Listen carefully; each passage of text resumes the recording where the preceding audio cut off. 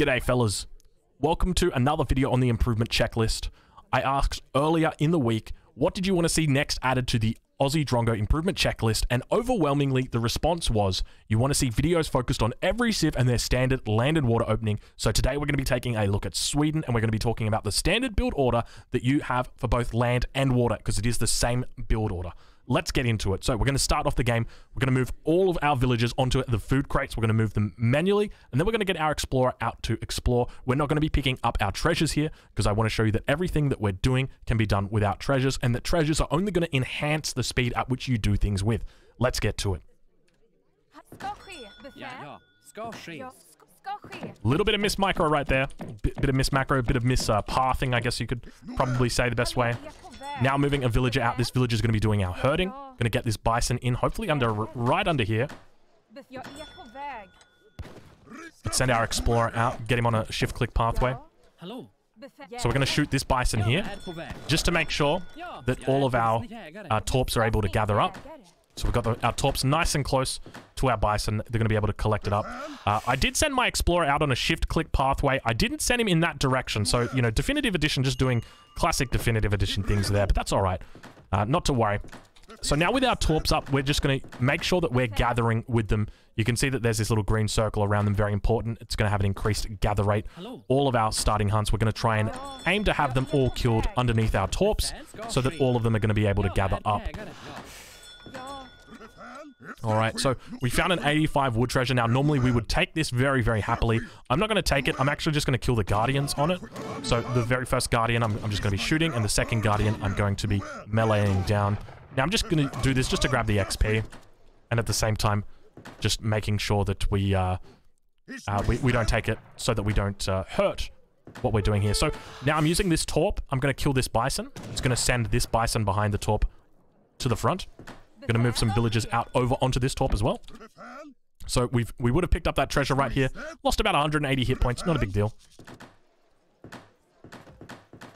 And then so this final bison, we can just kill it now. So just going like this, shooting it, and then moving the villagers into the town center and then popping them out on top. Sending three villagers as our first shipment from the home city. Another treasure over here, 30% explorer HP, not too bad. So we're going to be aging up Ideally, you want to be aging up with 14 villagers with Sweden. It's really important to be aging up with 14 villagers. But typically, if you don't get a food treasure, it's very, very hard to do. Uh, so what we're going to do is we're just going to sort of play it by ear, see what happens. If we do idle a little bit, that'll be okay. We're not too fussed. I'm going to transition villagers over slowly. You can see that this bison is, is getting less and less.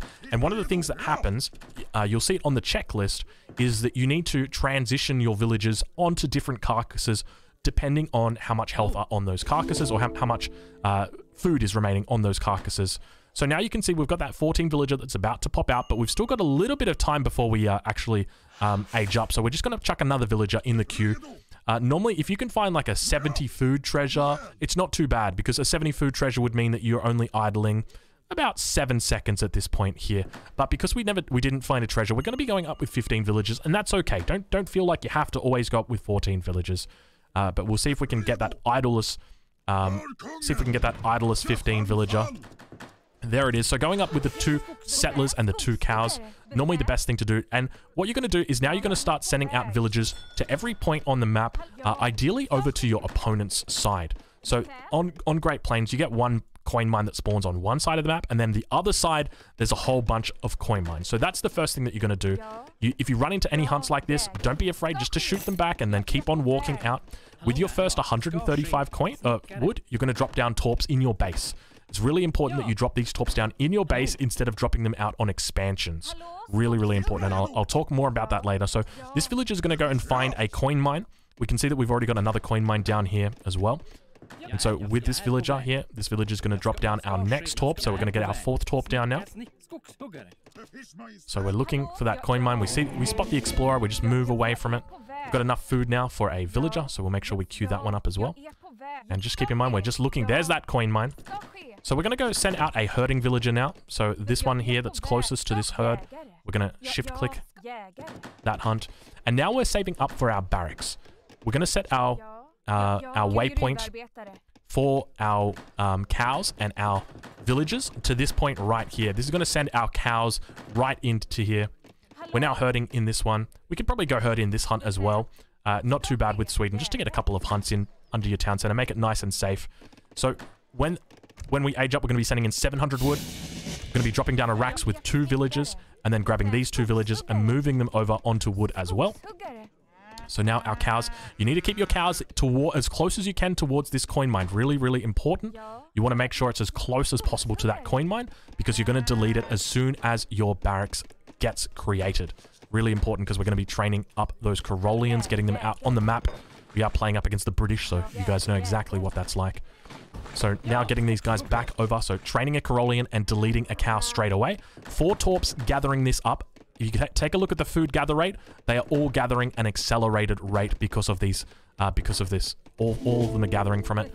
Three villagers onto the big crate, one villager onto each of the smaller crates, and still training those Caroleans now and expanding out on the map. We've got those villagers. We might even send this villager out just to go expand out over here training up some Caroleans here. You can see that we're, we're going idle a little bit, but it's more important that we get our Caroleans out uh, more than anything. We can also drop down Torps in base as well if you've got a little bit of extra uh, a little bit of extra wood. Next card that's coming in is your Ironworks. You can afford to go idle here. It's not a big deal. So now going idle or training another villager. And so making sure that we herd our hunts to our Torps, very important. Uh, some Torps just won't have any hunts whatsoever. Uh, and that's okay. So next Carolean being trained, and we're going to delete this cow again. So that's going to be, you know, uh, th the way that we do it. And shooting our bison with our torps. Dropping down our next expansion. Uh, so we, we tried our best to herd this. It didn't, didn't work that well.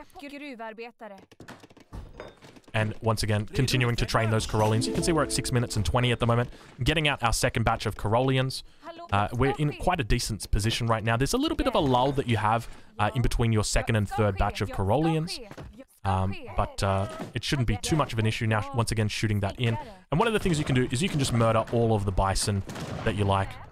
Not a big deal, uh, especially if they're your opponent's bison. So if, if they are your opponent's bison, do not be afraid to just kill all the bison at all because it means that uh, whilst they're going to decay, they're your opponent's bison, so it doesn't really matter. Otherwise, they're going to run away. So now that you've sent Ironworks in, the next card that you're going to be sending in is Blueberries. And keep in mind, this is your build order that you're going to be using in almost 100% of games.